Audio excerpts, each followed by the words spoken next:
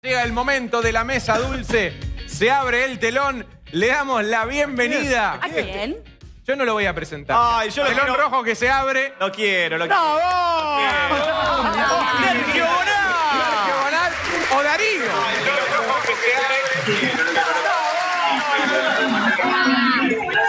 Ay, a ver. Ah, qué lío. Hay, hay un, un lío, pu- pueden creer, hay una desprolijidad acá en este programa, que ya la vamos a solucionar. Puede ser la tele. Hay una pequeña desprolijidad. Un pero- temita con el audio, Sergio, Vos, ya lo solucionamos. Sergio, ¿vos nos escuchás bien? ¿Tenés la tele eh, arriba? Está dentro de la conexión de Wi-Fi, me parece. Ajá. Está todo bajo, está todo apagado. ¡Ahí está! Fuerte el Sergio. aplauso. Sergio, todo tuyo. Vamos de vuelta. Vamos de nuevo, vamos de nuevo, Sergio. Cerremos vuelta. el telón. El. Vamos de nuevo, vamos Habla de nuevo. solo dale. Sergio. Sí, por supuesto. Vamos. Ah, para que hay que buscarle la aplicación. Vamos, que el telón ese salió, ¿eh? Vamos a Ah, usarlo. era, era difícil. No era tan fácil el telón. No era tan fácil. el- No era. Pero no era. el... Ahora sí, se abre el telón. No voy a presentar quién viene, ¿eh? vamos a mantener la- el misterio. El gran Ahí va. Sergio. ¡Qué lindo! Sí, ¿me escuchan ahora? Perfecto. Hola. Excelente, Sergio. Todo tuyo. ¿Sí? ¿Estoy? Perfecto, estás acá, es hoy. ¿Y se escucha bien? Impecable. Eh. Ah, bueno, qué lindo, qué placer, porque es horrible, viste, que no se escuche nada. Yo siempre me preocupo, tiene que estar claro. Me- me- me- Mirá si me tocaron un sistema de sonido como esos que ponen en los aeropuertos, en los aeroparques, siempre cuento la misma historia porque tiene que ver con eso. Viste que en los, en los aeroparques nunca se entiende nada, jamás. cierto. Y entonces yo siempre hace años que cuento que una vuelta me estaba yendo de viaje al aeroparque de Buenos Aires, que lo dejaron divino, cambiaron todo, pero los parlantes son los mismos de cuando no había aviones. Y entonces yo estaba con el pasaje en una mano, la valija en la otra, y escucho como los altoparlantes decían, atención, hasta que 58, 24, la 36, 500, vosotros, muchas gracias. Oh. Y yo digo, ¿pero qué pasó? ¿A dónde va esto? Y empiezo a buscar, había una puerta que decía sonido, voy, golpeo, me atiende un señor, le digo, maestro, no se entiende nada. Y el tipo me dice, sí, viste, los parlantes andan como el culo. Entonces, ahora sí, si se escucha bien, me quedo tranquilo. Ustedes me dan el Perfecto. pase, cuánta fiesta, cómo me gusta. Vi que había chicos, un saludo a toda la gente de Mar del Plata, un saludo a todos los que son de Racing, que vi que había muchos. Vamos a la academia. los que están bailando, a todos los chicos y uno no sabe ni por dónde arrancar, ¿viste? Yo la verdad, yo digo, ¿de qué vamos a empezar hablando? Vamos a, mirá, ahí están todos, qué linda, la familia, la familia, cómo me gusta que estén ahí frente, me encanta, me encanta, mirá. Este, vos sabés que ahí veo un matrimonio. A ver, Sí. ¿cómo les va? Ahí está la gente. ¿cómo están, chicos? ¿Vos sabés que un matrimonio, un marido llega a la casa, ahí está, como para arrancar hablando de algo. Sí, el marido llega a la casa y dice, vieja, mirá lo que compré. Los muchachos de la fiesta del pase hacían la propaganda de esto. La mujer lo mira y dice, ¿qué es esto? Dice, esto es el detector de mentiras de Chiche Helblum. Uh. Dice, ¿para qué queremos esta pavada? Dice, bueno, quiero saber qué nivel de mentiras hay en esta casa. Dice, llámalo al nene, 14 años la criatura, lo sienta en la mesa, el padre apoya el aparato arriba de la mesa y empieza a explicar cómo funcionaba el artilugio. Dice, vamos a empezar a conversar y ante la primera mentira sale un brazo y te pega un bife. Dice, no, dice la madre, pero qué violenta esta máquina. Bueno, funciona así. Entonces le pregunta al nene con 14 años, dice, ¿qué estuviste haciendo hoy? Y el nene dice, no, nada, papá, qué sé yo, estuve estudiando. Salió el brazo, pa, sopapo. Dice, ¿qué estuviste haciendo? Dice, uy, papá, qué sé yo, estuve un rato en internet, un rato en internet. Habrás estado todo el día en internet perdiendo el tiempo como siempre. ¿Y qué estuviste haciendo en internet? No, nada, papi, qué sé yo, miré una película. ¿Qué película? Harry Potter, salió el brazo, ¡pa! sopa, ¿Qué película estuviste mirando? Ay, papá, estuve mirando una película porno. Y el padre horrorizado dice, mirando pornografía con 14 años. Yo a los 14 años no sabía lo que era la pornografía. Salió el brazo, ¡pa! Sopapo el padre. Y la madre, la madre que miraba todo decía, ¿qué lo parió? ¿Cómo se nota que es tu hijo, eh? ¡Pa! Sopapo la madre. Le volvieron la al toque. Tremendo. Olvidate, ¿me entendés? Un saludo ahí al matrimonio, a la pareja. Sí, encanta. lo- vas a hacer a- Me encanta a mí cuando está la familia, ¿me entendés? Están los chicos. está la uno familia. se- yo digo, la cuarentena nos cambió el horario Difícil a todos. Igual no voy a decir nada inapropiado, tranquilos, por más horario que sea, por más que sean las 3 de la mañana, no importa. Usted ¿viste? sabe, Igual usted los sabe. chicos, viste, que te pescan todo. Todo. Los Eh. chicos son inquietos, son dispersos. O sea que dos chicos, cinco años, en una clínica, se pierden de sus padres y se ponen a corretear en una clínica y se esconden en una sala de partos. Y los chicos con 5 años presencian un parto en vivo. Los chicos ven el momento exacto en que el obstetra agarra al bebé de los piecitos, lo saca, le pega el chirro en la cola para que exprese el primer llanto. Y uno de los nenes le dice al otro, qué malo ese señor. ¿Viste cómo le pegó a ese nene tan chiquito? Y el otro dice, también, como para no pegarle. ¿Vos viste dónde se había metido?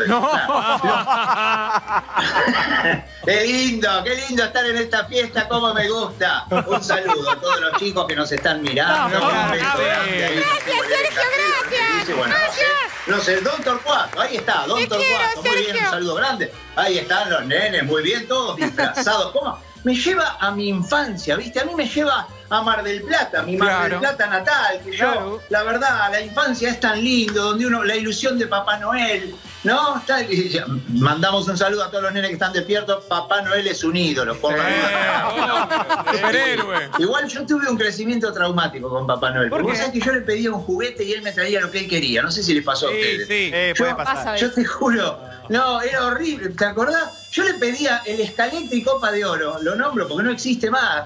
Y, y siempre, yo me acuerdo primero, para que venga Papá Noel, ahí está el gordo, mira, que seguramente Papá Noel, un fenómeno, ¿eh? aclaramos de vuelta por la que, claro, para que venga Papá Noel, había que hacer, había que cumplir varios requisitos, había que portarse bien, hacer todos los deberes, hacerle los mandados a papá y a mamá, no hacer renegar, vos te con un quilombo para que venga ese hombre, y a fin de año escribías la cartita, querido Papá Noel, quiero el de oro.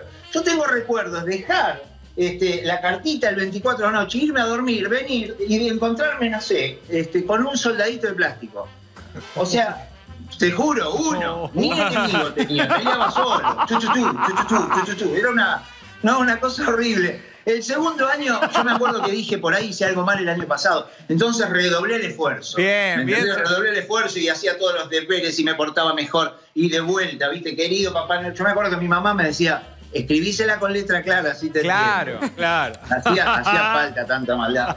Y yo decía, querido papá Noel, quiero el escalecto y copa de oro. Y yo lo dejaba ahí, iba a dormir. Venir y encontrarme. El segundo año fue el peor. Encontré una pelota de goma, la pulpo. ¿Te acordás de la Sí. pulpo? Ah, de las rayitas. Naranjada. Muy bien.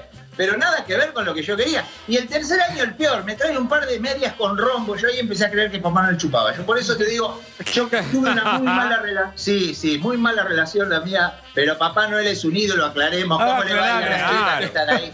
Mirá, me hace acordar. Fiesta. Va- vamos, a ver, este es para mayores, pero no lo va a entender ningún chico. Tranquilo. Escuchá una cosa. Eso es lo importante. Escuchá una cosa. Este, noche navideña, noche, y ubíquense, 24 de diciembre a la noche, ¿no? Sí. Dice que una chica en una mesa familiar, pongámosle unos 25 años, se va a descansar. Dice que estaba somnolienta, casi a punto de dormirse, cuando ve que por la puerta de la habitación entra un gordo. Noche de Navidad. Claro. Ella dice, ¿y este quién es? Ve por la puerta, habitación, o sea, ella media dormida, la habitación en penumbra, lo que ve es la silueta de un hombre gordo. Dice, ¿y este quién es? Quiere encender la lámpara de mesa, no hace a tiempo. El gordo se metió en la cama y hace... bien, bien, no decimos nada, no decimos nada. La, la chica se sintió muy bien porque, eh, nada, hacía años que no sentía nada parecido, porque aparentemente se lo hizo a lo Papá Noel, digamos, Eh, con todos los chiches. Cuando termina, cuando termina la historia, el gordo se empieza a cambiar a los pies de la cama y la chica prende el velador y ella se encuentra con un señor robusto, barba blanca, Oh. pelo blanco, poniéndose un pantalón rojo, chaqueta roja, cinturón blanco, gorro rojo. La chica media confundida le dice, ¿pero qué? ¿Papá Noel? Y el gordo dice, claro. ¿No era esto lo que habías pedido? ¿Te gustó? Y la chica le dice, la verdad me encantó, pero no era esto. Yo te había pedido un auto, un Volvo era, un Volvo. No, bien, eso está Fuerte bien. el aplauso. Hay que tener letra clara. Grande, Sergio. Un abrazo grande. Fenómeno. Gracias. Un saludo Sergio. ahí. Veo de todo, veo parejas, veo matrimonios, cómo me gusta. Ahí está, mirá la señora. Hay de todo, hay carteles, hermoso, hay niños que ahora- gusta. Bueno, los matrimonios, cuánta tela para cortarte dan los matrimonios. Me quedé medio incómoda con mi- me, me agarré un tic con la camisa. Escuchá, Sí. cuánta, viste, los matrimonios, hay matrimonios lindos y matrimonios feos. Viste que la gente dice, che, pero no todos los matrimonios son feos, ¿por qué los agarran así para la joda? Yo siempre digo, hay matrimonios y matrimonios, ¿viste? Hay gente que se lleva muy bien y hay otros que se llevan muy mal. Yo siempre cuento la historia del Flaco Mario. El Flaco Mario, gran amigo mío, vivía frente a una plaza en Mar del Plata, Plaza Mitre.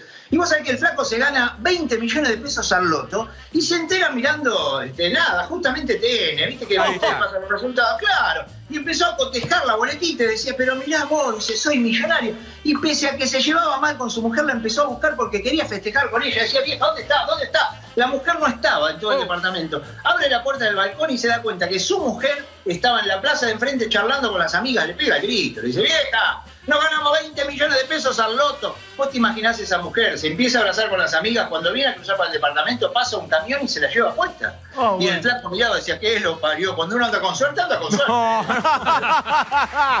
Fuerte el aplauso para el gran Sergio. Vamos, Gracias, Gracias, Sergio. Sergio.